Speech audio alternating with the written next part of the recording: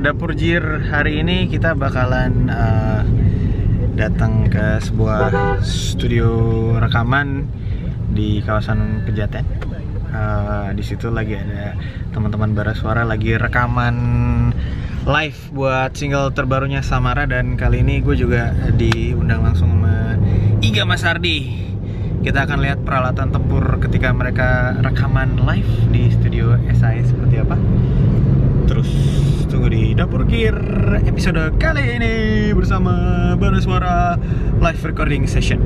Kita lihat gearnya apa aja.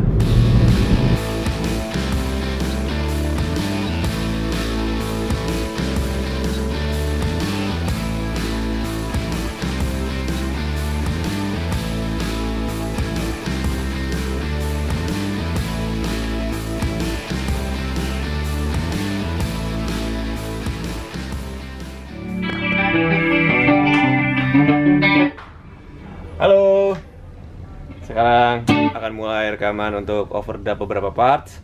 Semoga lancar. Pinjam gitar TJ dulu.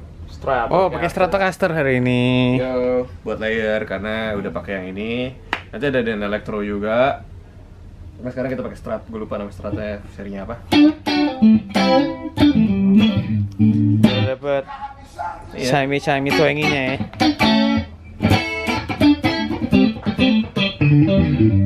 Ini bunyi chorus ya, Jo. Chorus.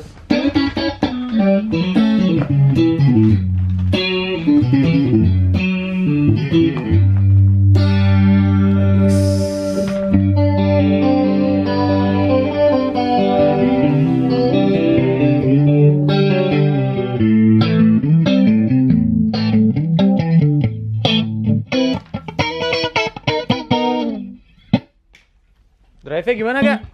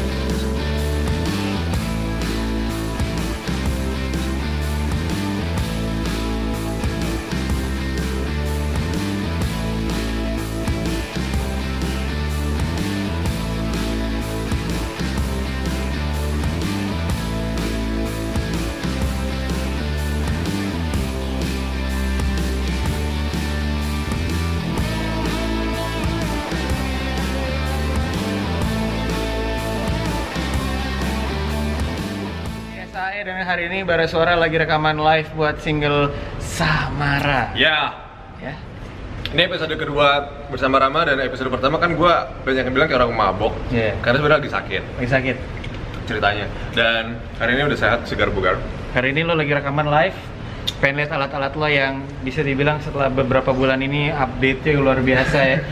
Ada sedikit terima kasih untuk semua pihak yang sponsor dari banyak ya. Oh. Luar biasa. Iya. Gitar baru, semua baru. Iya dong, pengen tahu dong. apa ayo Ini lagi rekaman live ya, pakai. Ini dipakai buat manggung juga gak? iya pakai buat ngomong juga Oke. oke pertama kita menuju ke sini ini ruangan live yang semalam dipakai Ini hari pertama kemarin ya? hari pertama kemarin sekarang udah hari kedua Pokoknya sih basically ini sih Uh, jangan ke pedal board dulu dong. Oke, mana, ke mana, Kita ke mana? pengen tahu nih, ini apa sih ini nih? Duh. oh ini Zoom in, zoom out, zoom in, zoom out, zoom Ini, in. Widih. um, Fender 7 Telecaster issue 72 yang kemarin di Makassar gua habis stage dive dan ini patah. Ya. Tapi ini masih bisa dibeli sepertinya. Nggak bisa, bisa. Ini lihat turun dari pang, apa jatuh dari pang, bukan jatuh sih lompat dari panggung. Telecaster Deluxe 72. Ya, Di- yang perubahan pertama di gitar ya, guys. Mm Tapi Wijono masih pakai ya? Masih masih pakai, masih pakai. Wijono masih pakai. Yo, iya. Ini pickup diganti nggak? Pickupnya enggak, masih masih masih stok. Karena pickup yang wide range kalau replacementnya mahal banget. Jadi ini nggak ada yang diganti nih, ada, original yang semua ya? Yoi. Oke oke oke oke. Dari situ kita masuk ke pedal boardnya yang yang ada di Amerika fotonya. Ya, Jelasin Bung, apa aja nih pedal boardnya nih? kalau sekarang eh, udah kerja sama sama Providence Ih, via hari-hari musik. Terima kasih hari-hari musik dan Providence Amrek. wis mantep Ya, nih. Yeah. Jadi ya ini sebenarnya Love Pedal. Mhm. Ini Providence Red Rock. Ini kayak overdrive yang sangat fat. Emang dibuat untuk single coil lalu ini buffer and booster. Ini Vitalizer Circuit. Jadi Ini bikin lebar ya. ngelebar bikin nggak tahun saking. Mhm. Ah, ini Providence Phase Force, ini phaser biasa. Dan ini yang paling jadi favorit orang-orang, Iya. Anadyme Chorus. Ini enak banget. Ini sisanya tremolo dan ini pedal Arjuna FM pedals dari Indonesia ya. Ini asik banget nih. Asik banget, enak banget. Ini basicnya clone dan ini DD500 dan ya specular reverb juga dari GFE system dan ini, ini salah satu reverb yang paling oke dengan harga yang sangat terjangkau. Dan ini polytone biasa. Ini eh, berarti yang masih bertahan dari pedal board lama tinggal ini doang ya? Eh, iya, sebenarnya tinggal ini. Sama sebenarnya pe- penghuni paling lama sih dia nih. Oh iya, si Specular Reverb. Paling lama dia. Tadi ada Delmar, cuman Delmar gue ganti Red Rock. Red Rock ya. Mm-mm. Ini yang Tadi gue sebenarnya pakai pakai satu lagi Providence Hit Blaster, cuman distortion jadi eh, kayaknya buat yang sekarang gue lebih pengen yang apa overdrive overdrive aja dulu gitu. Hmm. Distortionnya nanti. Oke oke oke. Kabelnya juga Providence. Providence semua nih. Ah, gila. Sadis. Kamu lebih sadis loh. Wih, habis itu ampli dong, lihat dong amplinya dong. Amplinya ada di kamar sebelah. Yuk kita lihat amplinya dong. Gila. Nah. Oh, lu mau udah? Oh ya. Udah. Ya ini ruangan ampli-ampli. Ini ampli DJ. Terus ini gitar-gitar, Oke, gitar-gitar itu anu ini amp booth sendiri-sendiri ya buat ini take live. drums dan lain-lain. Oh, oh, ini dia penampakan baru. Sini. Sangat berubah nih. Ya. Jadi thank you banget untuk PVID, PV Indonesia. Tipe apa nih, Gak? PV-nya, Gak? Supportnya ini Classic 20. Basic 20 ya? Ini head. Jadi buat rekaman, buat live ngebantu banget. Kabinet. Ini kabinetnya sama PV juga 2x12. Mhm. Ini pakai MD421 loh ya, todong ya? MD422 apa 421 gitu gue lupa. Sama S906 sama ada beberapa room mics. Ini terima kasih untuk PV dan PT Kairos. Wih, Yeah. Kelebihan dari ampli ini apa sih, Gak? Kelebihan dari ampli ini adalah Ini ini eh, bukan produk knowledge ya, tapi lebih iya ya. Sebenarnya kan lo, yang paling lo, lo, lo yang gue tahu kan dari yang produk yang warna oranye itu Ah, iya, iya. sekarang beralih ke sini dan sebelumnya lo sempet ke Hot Rod the Field. hot rod kan gitu apa sih Iya. yang menjadi standar lo untuk mengganti ampli itu apa sih Jadi awalnya si orang dari PV ngajak ngobrol gue gitu soal um, si Classic 20 dan dia nawarin gue untuk coba dan akhirnya pas gue coba ternyata soundnya familiar gitu karena gue kan emang tumbuh dengan sound-soundnya Fender amp ya Hmm. dan si PV Classic 20 ini kayak eh warnanya tuh menyerupai namun dengan fitur yang lebih lengkap dan size yang lebih kecil itu yang paling penting. Jadi bisa dibawa-bawa. Bisa dibawa ini tuh cuma segede gini. Ya. kalau lo angkut. Cuma segede gini. Dan ini tuh bisa masuk ke kabin pesawat? Bisa banget. Jadi lo tinggal butuh ini masuk ke tas olahraga gitu. Jadi lo tinggal masukin ke tas apa pun masukin ke kabin. Jadi nggak udah udah Simple ya? simple dan lo nggak usah khawatir. Kalau kan kalau kita bawa pakai hardcase kan kadang dilempar-lempar lah tabungnya Hmm, pecah apa hmm, segala iya, macam setuju. ya kalau udah masuk kabin bener udah. Lo nyampe kabin aman deh. Lo yang bawa sendiri hand carry. Terus Dua- eh, apa namanya ada directnya ya? Ada direknya cuma direknya gue nggak nggak pernah pakai. Hmm. Tetap prefer uh, pakai miking karena suaranya beda ya.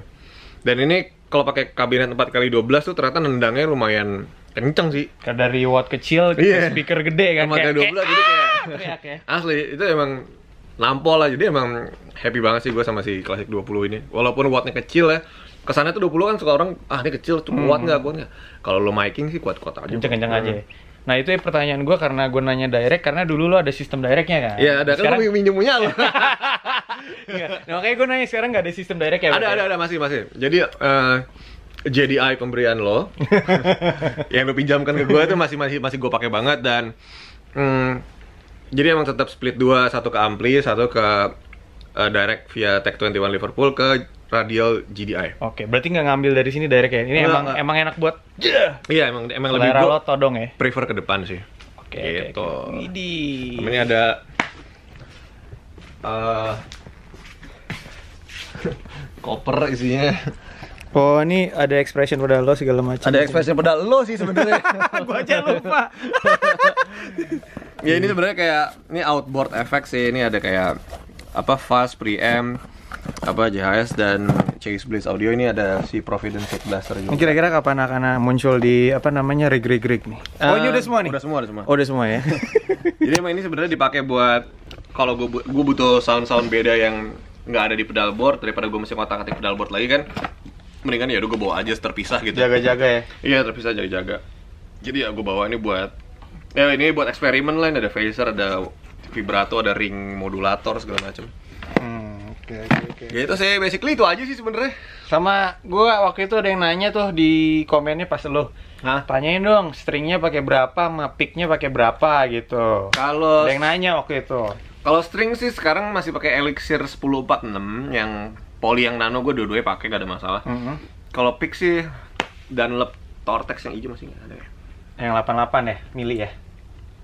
Nah nih, ini dia si Dunlop Tortex. Oh, Oke, nggak nggak nggak fokus deh. Bagus ya, nggak bagus ya. Nggak fokus. Ya anyway, si Dunlop Tortex hijau inilah bisa lo. Bagus, bagus, bagus, bagus. Oh, nggak bagus sih, bagus sih, bagus sih. Mana, mana, mana. Oke. Tunggu. Iya. Ya anyway. Ya, itulah. itulah ya. Ya, Dunlop 288 nggak masalah sih ininya. Gauge-nya. ya gitu ya. Oke. Gitu. Berarti lo masih simple ya.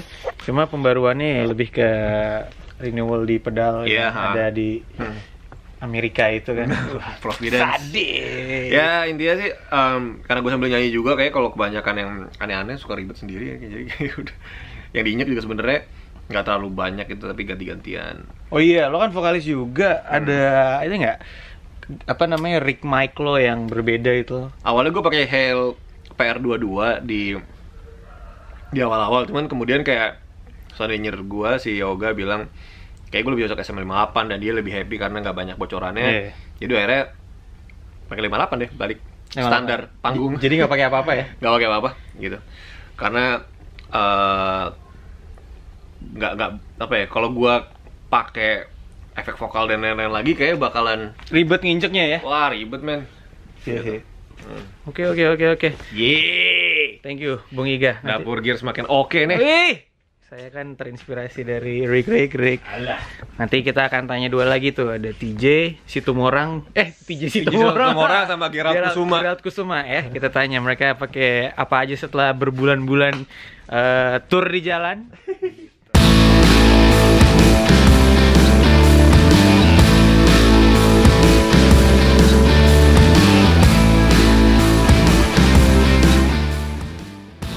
Kalau suka sama Dapur Gear, jangan lupa sekali lagi subscribe channelnya youtube.com slash dapur oke? youtube.com slash dapur terus kirim komen terus juga kirim eh, apa namanya requestnya mau apa aja mau nanya-nanya silahkan silahkan oke? Sampai ketemu. Salam dapur gear